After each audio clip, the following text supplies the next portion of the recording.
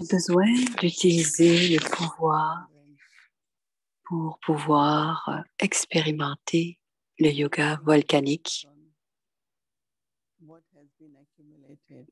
Tout dépend de ce qui a été accumulé. Accumuler l'énergie de l'esprit et de l'intellect en utilisant un frein puissant et aussi l'habileté de pouvoir rediriger notre direction.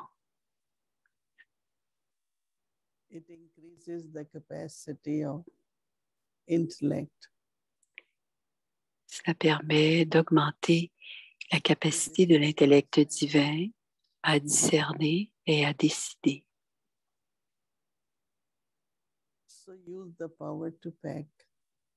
Donc, on doit utiliser le pouvoir de plier bagage.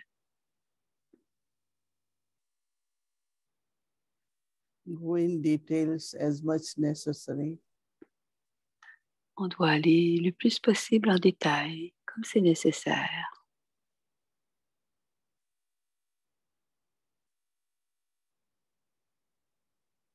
Otherwise, back your thoughts thoughts of mind and thoughts of intellect. Il y a les pensées de l'esprit et les pensées de l'intellect.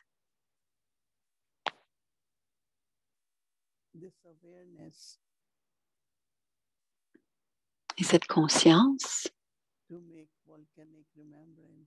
d'avoir un souvenir volcanique accumulate the energy of mind and intellect. Et d'accumuler aussi l'énergie de l'esprit et de l'intellect. Om Shanti. Version aidée d'Avyak Babdada.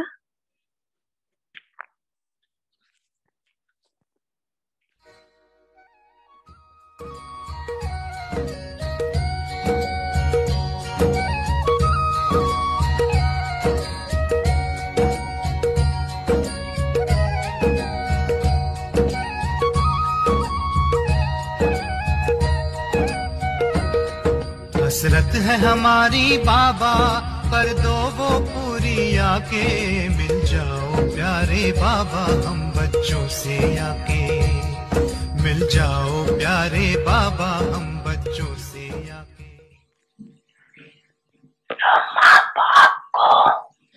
Le 25 mars 1995, Baba a dit, a dit qu'il devait être l'incarnation d'économie. qui êtes-vous tous? Êtes-vous tous maîtres ou pas?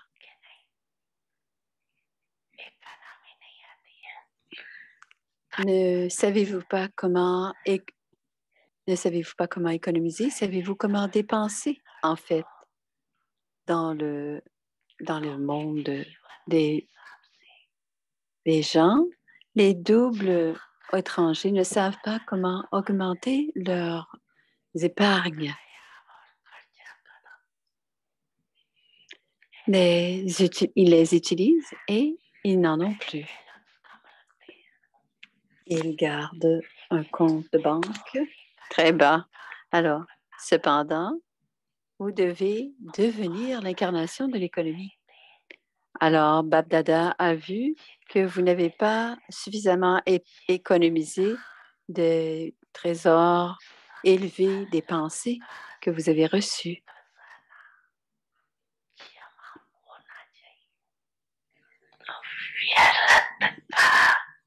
Le compte des gaspillages est très grand et plus grand. Et si vos pensées sont perdues ou gaspillées, alors à ce moment-là, les trésors, les autres trésors sont aussi gaspillés. Si vos pensées sont gaspillées, qu'est-ce qui se passera de vos actions et de vos paroles? Elles seront aussi du gaspillage. La fondation de la pensée, la fondation de la pensée, alors vérifiez d'abord vos pensées. Ne les laissez pas. Ne les laissez pas aller. C'est- OK, c'est seulement deux minutes, mais pas plus long. Toutefois, vous devez vérifier combien vous avez eu de pensées en deux minutes.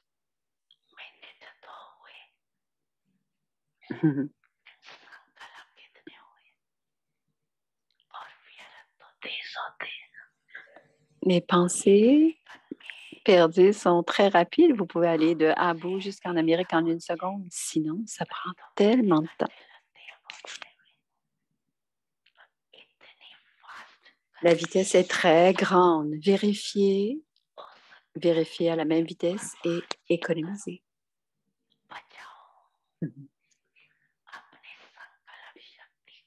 Gardez le pouvoir de vos pensées et ensuite vérifiez-les lors de la méditation un petit matin.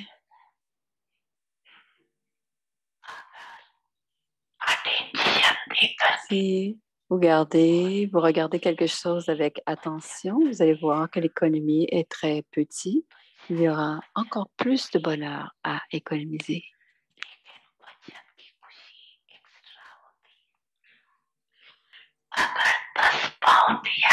Si vous avez si vous voulez dépenser 10 dollars et que vous gardez euh, ou économisez 1 dollar,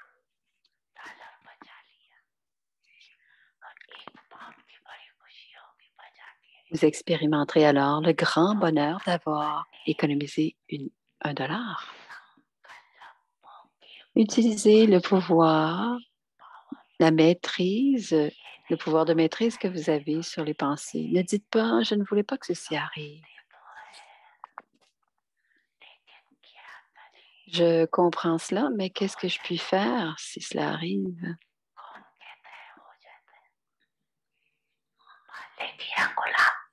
Qui dit que ça, que ça simplement, est simplement arrivé? Est-ce euh, le maître ou l'esclave?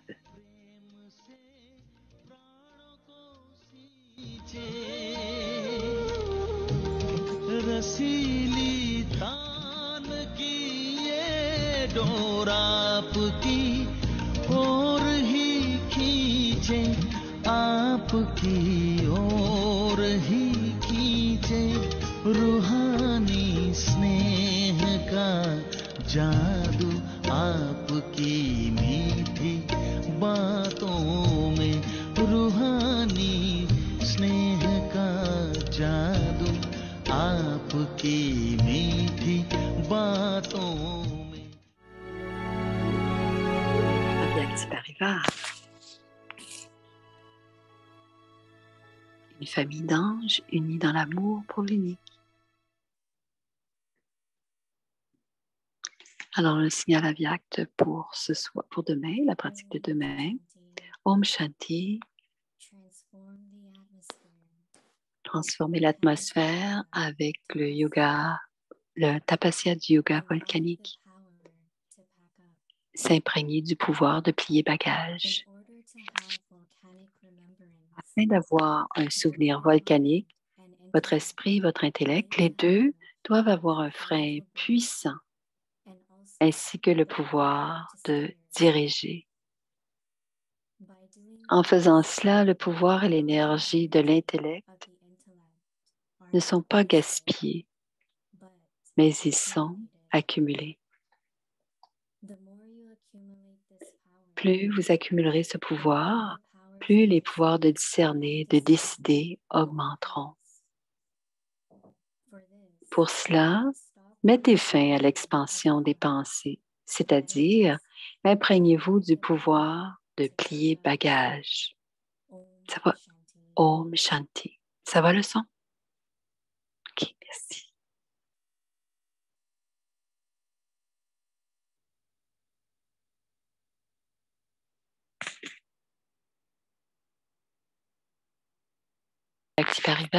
Aujourd'hui c'est le jour 2. Transformer l'atmosphère avec la tapasya du yoga volcanique. Et le sujet de ce soir, s'imprégner du pouvoir de plier bagage. Écoutons maintenant Moïdi Didi. Âge d'or, dit Shirin. Et tu voulais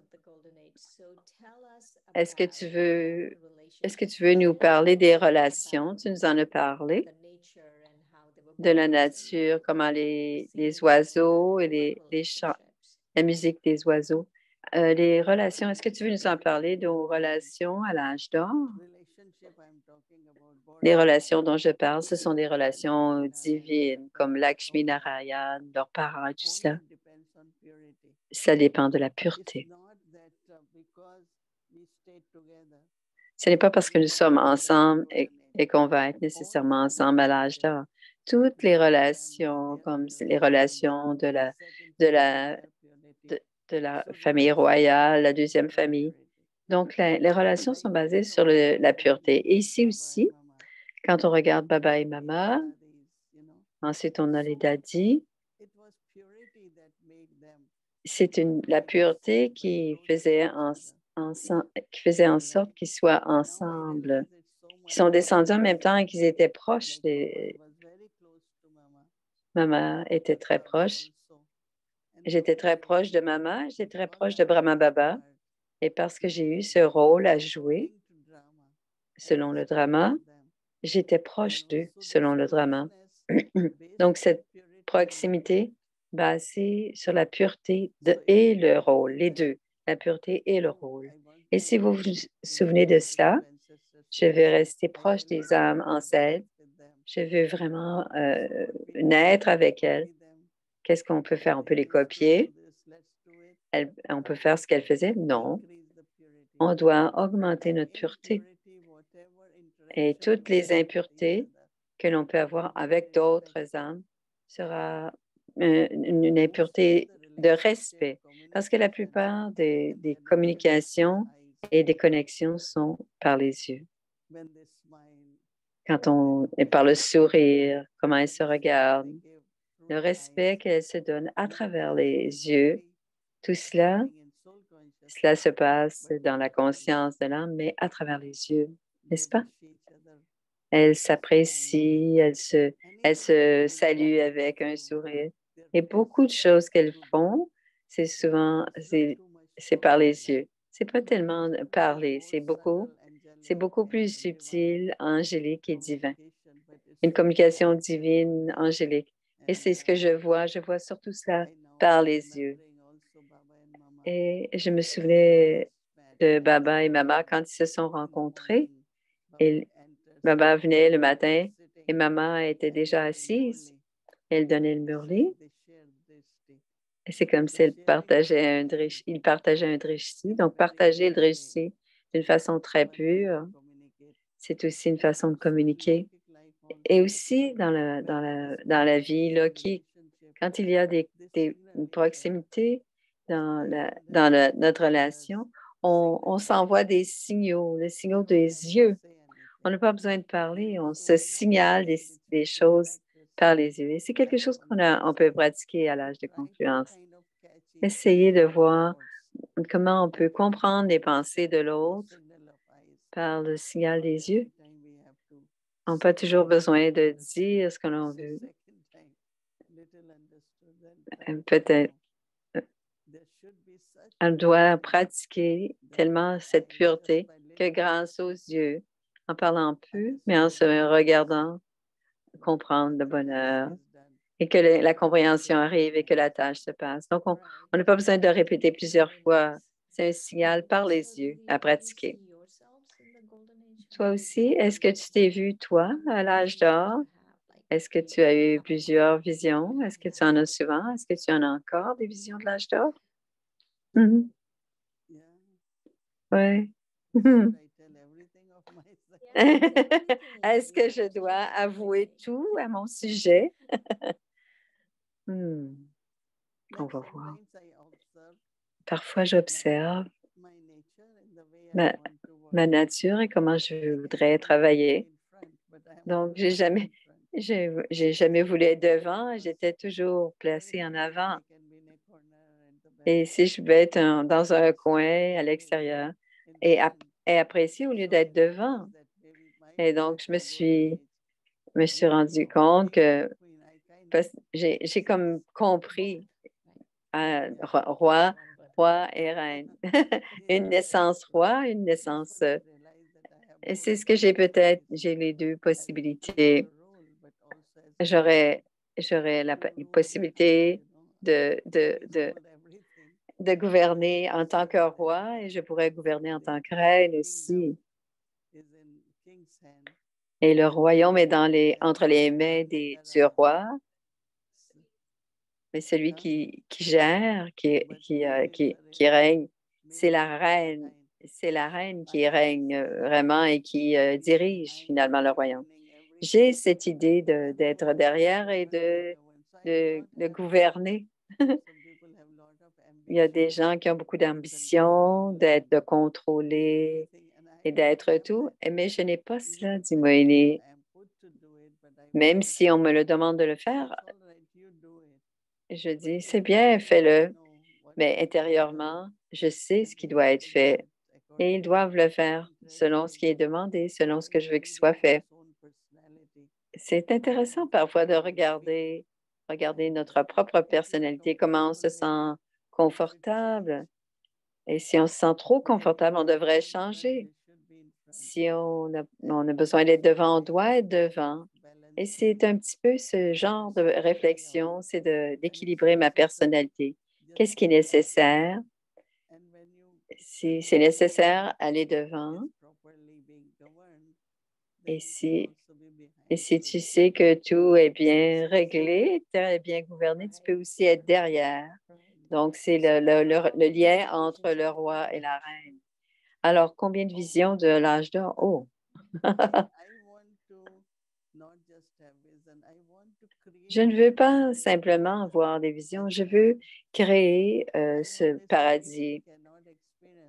Je sais, je veux dire que si on ne peut pas expérimenter le royaume de Dieu, la famille, le- le- la maison de Dieu, je pense que peut-être, je ne sais pas si on va pouvoir créer cela à l'âge d'or. Donc, je pense que c'est à l'âge de confluence qu'on doit ce sentiment qu'il y a une seule famille, un seul yagia, une seule shrimat, et cette nature de s'ajuster les uns aux autres et, reconnaître que chacun d'entre nous a un rôle, un rôle différent et avoir beaucoup de, de soutien les uns pour les autres. C'est ce que je sens. C'est comme cela que je veux. Je veux voir l'âge d'or d'ores et déjà. Et on doit créer ce- ce- cet âge d'or ici et maintenant, à l'âge de confluence. Et je disais, quand j'étais à Peace Village, on essaie de, de, de défaire nos, nos différends parce qu'il y en aura toujours. Mais si on peut tous spirituellement être euh, sur la même longueur d'onde, c'est-à-dire écouter les murlis, euh, inculquer les murlis, à ce moment-là, nos tâches dans les relations ne seront basées sur notre niveau spirituel. Et ça doit être le, but dans chaque centre ou même dans le pays. Donc, spirituellement, on doit grandir de, façon telle que toutes nos relations sont toujours bonnes, peu importe. Temporairement, on va, on, va, on, va, on va le régler, mais il y aura toujours des différends. Et si on ne règle pas le cœur du problème, et aussi je mettais l'accent, la solution, alors il faut que tous euh, grandissent spirituellement ensemble. Et c'est ce qui se passait en Inde avec les daddies. On- je les voyais quand elles disaient qu'elles avaient un chit-chat sur la connaissance. Elles parlaient de Baba. Elles parlaient le- toute leur, leur relation, l'intimité, c'était toujours basé sur la connaissance et le yoga, pas selon leurs préférences.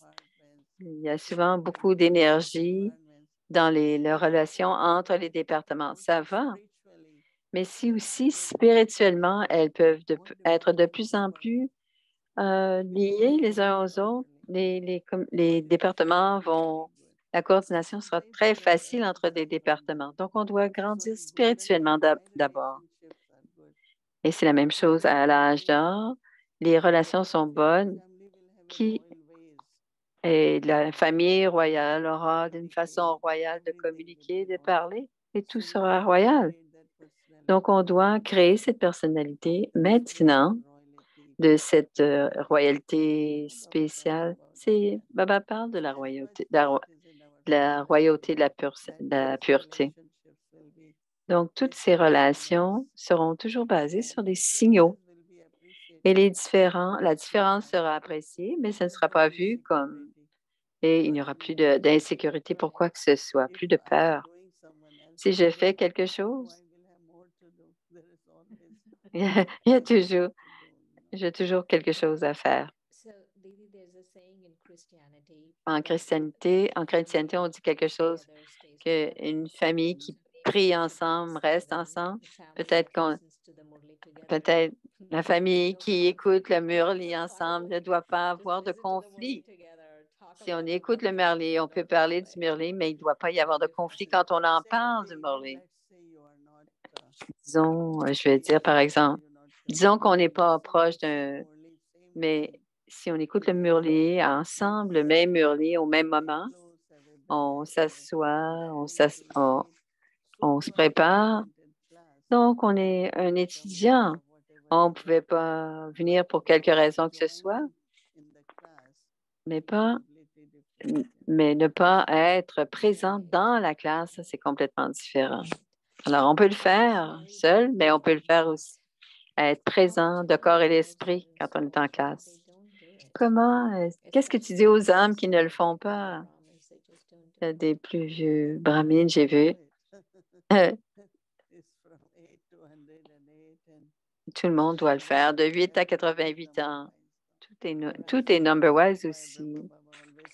Pourquoi Brahma Baba dit number-wise? Même quand on n'aime pas quelque chose, on, doit accepter que c'est euh, proportionnel à ce que l'on fait.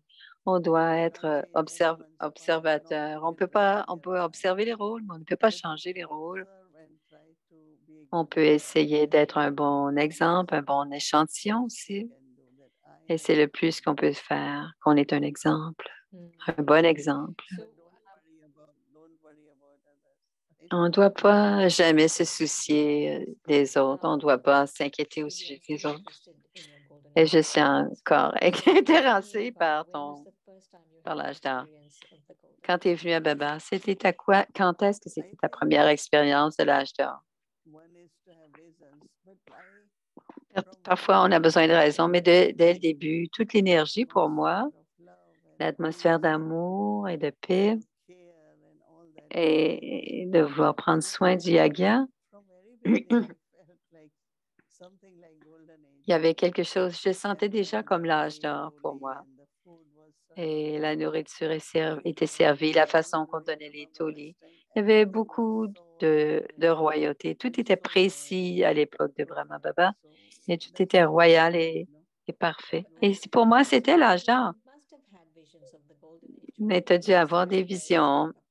Ouais, le yoga, c'est merveilleux, mais non, mais ce qui sera bon à l'âge d'or, ce sera la nature, l'atmosphère, les relations, la routine, la discipline de la journée. Euh, je les ai toutes décrites. J'ai déjà, j'ai déjà tout décrit cela, n'est-ce pas? Alors, tout à- si tu veux, si on doit avoir une vision, si on sent, je sens de plus en plus l'âge d'or, je sens de plus en plus de l'intérieur et ensuite avoir la vision de ce qu'on doit faire, de ce qu'on peut faire. Mais la vision de ce qui est dans la, à d'or, c'est important comment de sentir de l'intérieur comment est-ce que ça va être. S- C'est pas simplement une vision, c'est un autre niveau, un niveau plus élevé selon Moini. Quand je suis ici dans l'après-midi ou dans la... J'entends des paroles dans l'après-midi ou dans la soirée et je me dis, c'est comme ça, au petit matin, on va se réveiller avec les oiseaux qui chantent. C'est comme ça que j'y pense, comment je pense. C'est pas simplement l'i- l'imaginer, mais le sentir, expérimenter ce que l'on a comme si c'était donc on- c'est un bel endroit, si on entend, quelque chose, les vagues, les vagues, tu sens, tu, tu ressens, ressens l'âge d'or. Donc tout est doux, la musique douce. Et on pense à l'âge d'or à ce moment-là, simplement. Avoir des, relations aimantes, c'est comme l'âge d'or. Je pense que c'est probablement la chose la plus importante, dit Shireen. C'est pas te- tellement avoir des pensées gaspillées, mais avoir des bonnes relations. Donc, sinon, parce que si on n'a pas de bonnes relations, on peut avoir beaucoup de, pensées gaspillées ou perdues. Mais moi, je veux, dit Moïni, avoir des bonnes relations. Je veux avoir de bonnes relations. C'est ce que l'on peut faire, avoir, travailler sur nos relations, avoir de bonnes relations. Merci, Moïni. Dit Shireen. Om Shanti, Om Shanti, merci. C'est les Murli à partir de 1969. Parler à- au cœur d'un ange.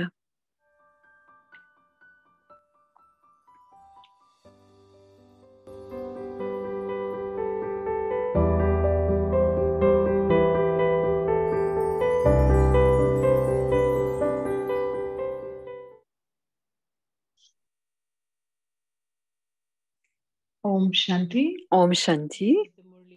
C'est le Murli du 24 mai 1971. Terminez l'opposition en restant sur rester à votre place. C'est un chemin si facile que vous êtes capable de vous rendre réel à partir d'être d'être artificiel en une seconde. Trouverez-vous un jour un chemin aussi facile? Jamais. Pourquoi devenez-vous soumis à Maya, soumis à Maya? Parce que vous oubliez que vous êtes les enfants de l'autorité toute-puissante. De nos jours, même ceux qui ont très peu d'autorité ont tellement d'orgueil et d'ivresse. Alors, combien de fierté et d'ivresse devrait-il y avoir chez ceux qui ont l'autorité toute-puissante?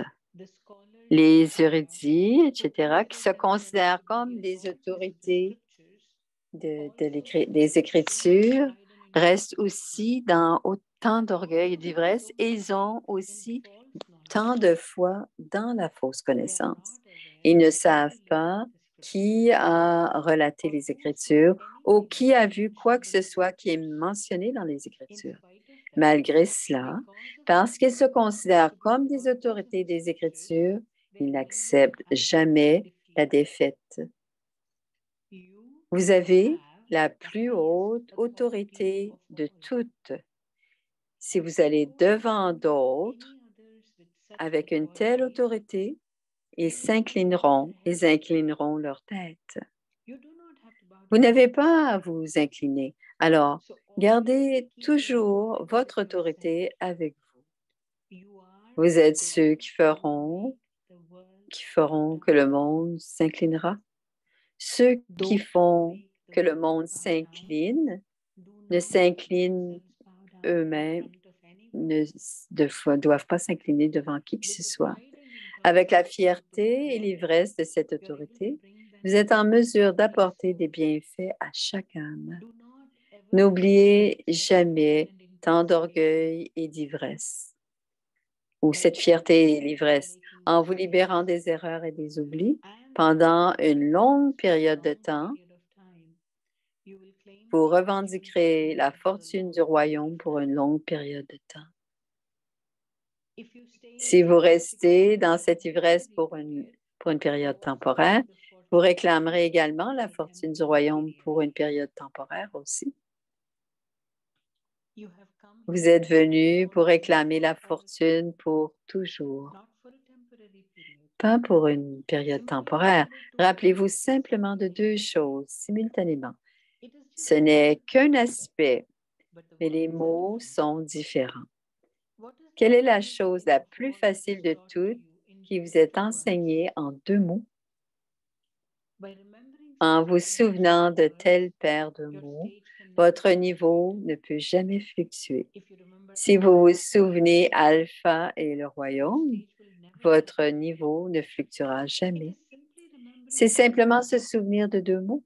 Si vous disiez à un enfant ignorant de se souvenir alpha et bêta, oublierait-il cela? Alors, pouvez-vous maîtriser les autorités toutes puissantes pour l'oublier? Vous, les maîtres de l'autorité toute puissante, l'oubliez? Lorsque vous êtes dans une phase d'oubli, parlez-vous. Est-ce que moi, une autorité toute puissante, ai-je oublié alpha et bêta? En vous parlant ainsi, vous prendrez conscience du pouvoir que vous avez perdu. Tout d'abord, bara- barattez cela et ensuite parlez-en. Tout ce qui est baratté est facile à di- discuter. Alors, continuez à baratter et parlez de ces choses. Il y a aussi deux aspects à cela. En barattant ces mots, ces choses, ces points, vous serez automatiquement en mesure de créer le niveau d'être perdu dans l'amour. Ceux qui ne savent pas baratter ne peuvent pas vivre le niveau d'être perdu dans l'amour. Acha? On continue demain.